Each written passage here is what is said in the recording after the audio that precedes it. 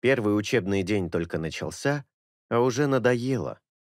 Ваня шел по коридору новой школы и кисло думал о том, каким нищим выглядит на фоне всей этой богатой обстановки.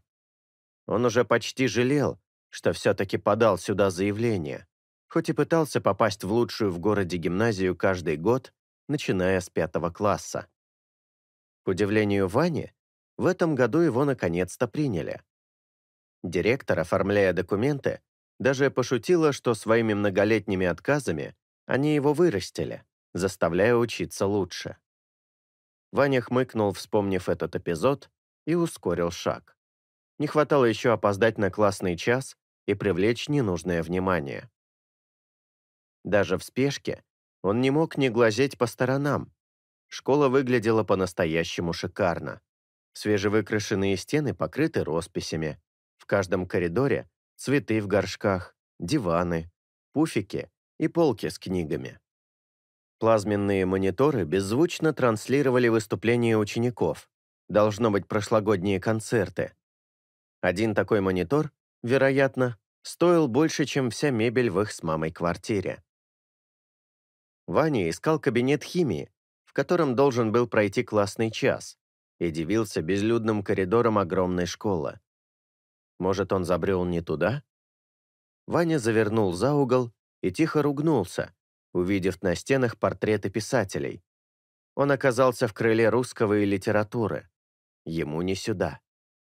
Ваня хмуро посмотрел в глаза Лермонтову. Тот ответил без всякого сочувствия. Ваня поправил то и дело спадающую лямку простого черного рюкзака и уже собирался было поворачивать обратно, когда заметил вдалеке девушку. Она стояла возле зеркала и поправляла прическу. Ваня решил, что раз девушка никуда не спешит, то явно знает, где тут что. Зацепив большим пальцем лямку, чтобы рюкзак больше не сползал, Ваня направился к ней. Подойдя ближе, он увидел ее лицо в отражении зеркала и отметил, что девушка довольно симпатичная. Копна темных кудрей никак не хотела слушаться хозяйку и укладываться в аккуратный пучок. Сдавшись, девушка распустила волосы, и они волнами рассыпались по плечам. Ваня на миг засмотрелся на них, прочистил горло и заговорил. «Привет. Извини, не подскажешь, где кабинеты химии?» Ваня поймал в зеркале удивленный взгляд, глаз цвета карамели. Девушка обернулась. «Ты меня спрашиваешь?» «А разве здесь еще кто-то есть? Ну, кроме наших талантливых друзей?» Ваня отвесил учтивый поклон Гоголю, изображенному слева от огромного зеркала. Девушка фыркнула и заправила одну из непослушных прядей за ухо. «К сожалению, эти друзья помогают не во всем. В любви без проблем, в поиске смысла жизни возможно, хотя в случае с русской литературой всегда есть риск словить экзистенциальный кризис и депрессию». Ваня ухмыльнулся Гоголю. Тогда мне к ним пока рановато. Отложим кризис до поступления». Он снова повернулся к девушке. «Так что, где тут химию учат, ты знаешь?» Она улыбнулась уголком губ и, повернувшись к зеркалу, снова попыталась собрать волосы в пучок. «Как ни странно, знаю. Хотя я и сама до сих пор в кабинетах путаюсь.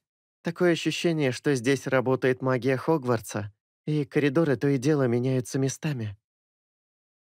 Ваня, понимающе хмыкнул. Мысленно поставил девушке галочку уважения за знание вселенной Гарри Поттера и спросил. «Ты тоже новенькая?» Девушка кивнула. Он протянул ей руку. «Я Ваня, а ты?»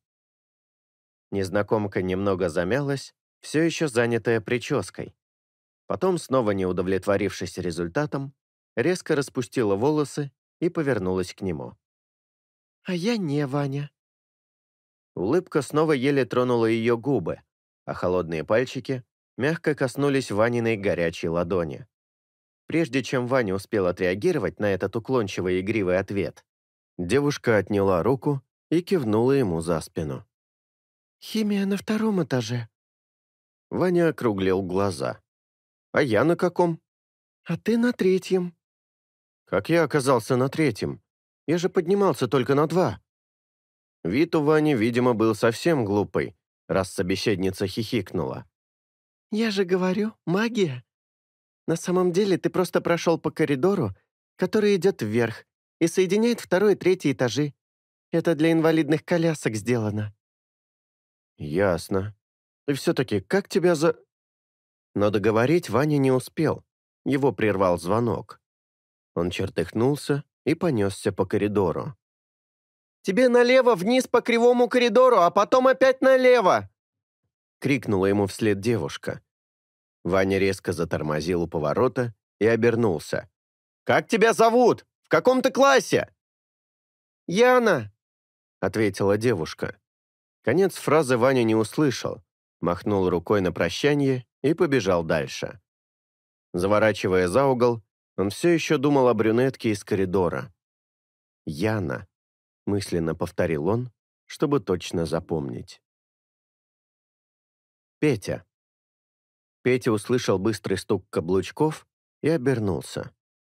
«Ну, наконец-то! Прискакала на своих ходульках! Народ, расступись!» Расталкивая одноклассников, Петя шел навстречу своей лучшей подруге Эмилии Вольф, худой блондинке, которая шагала по коридору на неимоверно высоких шпильках и широко ему улыбалась. Он с разгону обнял Милю во весь охват рук. Когда она отстранилась, Петя сказал, «Я уж думал, придется сочинять какую-нибудь душещипательную историю, почему в Альфихе нет на классном часе. Но, слава богу, Мариша тоже опаздывает. Красиво врать учителям в 9 утра в первый же учебный день я не готов». «Мог бы встретить и донести на руках?»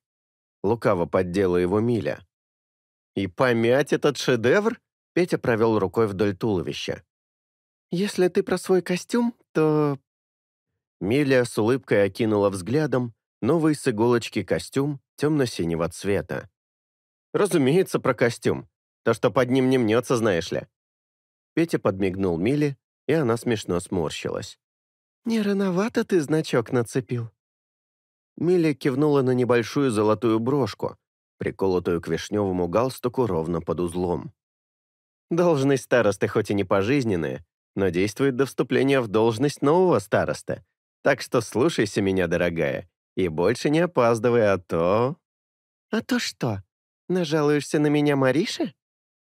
Миля подняла бровь и тут же отшатнулась, увидев, что Петя ее не слушает, вместо этого тянется растрепать прическу. Он обожал так делать с начальной школы. Миля выставила перед собой руки на манер приема в карате. «Замри, если дорожишь правой рукой». Петя ухмыльнулся. «Да, правая мне еще, пожалуй, пригодится». «Пошляк!» «Вообще-то я ей пишу, пошлячка!» Милли закатила глаза, и друзья рассмеялись.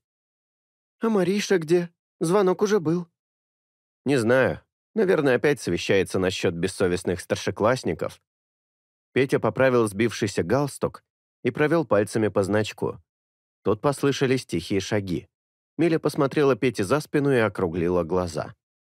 «А это кто?» По коридору быстро шел худощавый брюнет, темные глаза которого изучали окружающую обстановку. Он проскочил мимо Мили с Петей и, увидев номер кабинета, с облегчением вздохнул и встал неподалеку, прислонившись к стене.